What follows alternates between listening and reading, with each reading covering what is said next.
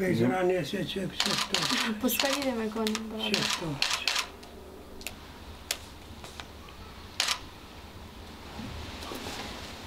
Në shtetin e Kosovës nuk jam i knaqën se nuk kanë punu për këtë kët ta persona kur gjë hiq. Hiq, hiq. Edhe ata na që këna ditë, këta neve na kanë pengu dhe na kanë, na kanë stopirat. Mos falni, mos falni.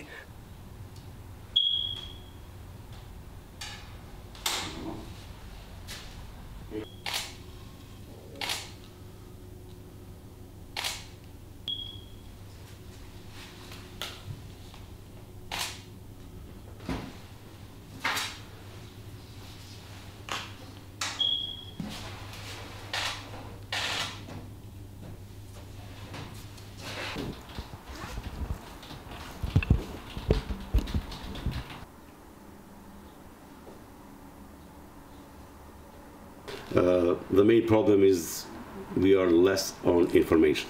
We don't have information about the graves and the places where the people are buried.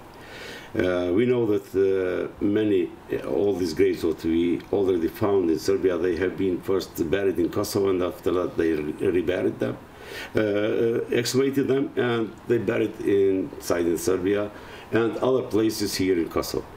Uh, so we need I, I think that I think that uh, we need from the internationals to make more pressure on Serbian government uh, to tell us the, the, the where all the graves are.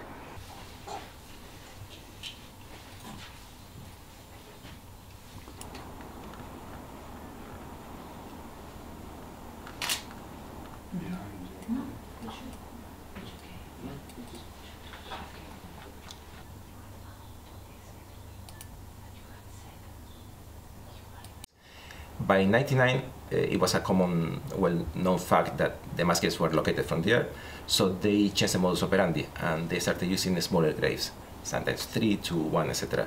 Not only that, but then these graves were sometimes uh, hidden within cemeteries. cemeteries. That makes the whole search even more difficult because it's the best place to hide a body, right? A cemetery. Okay, I send.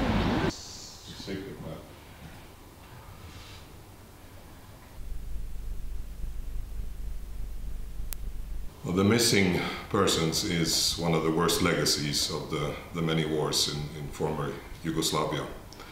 Uh, it is the result of, of people deliberately hiding bodies, remains of people being killed uh, in the conflicts.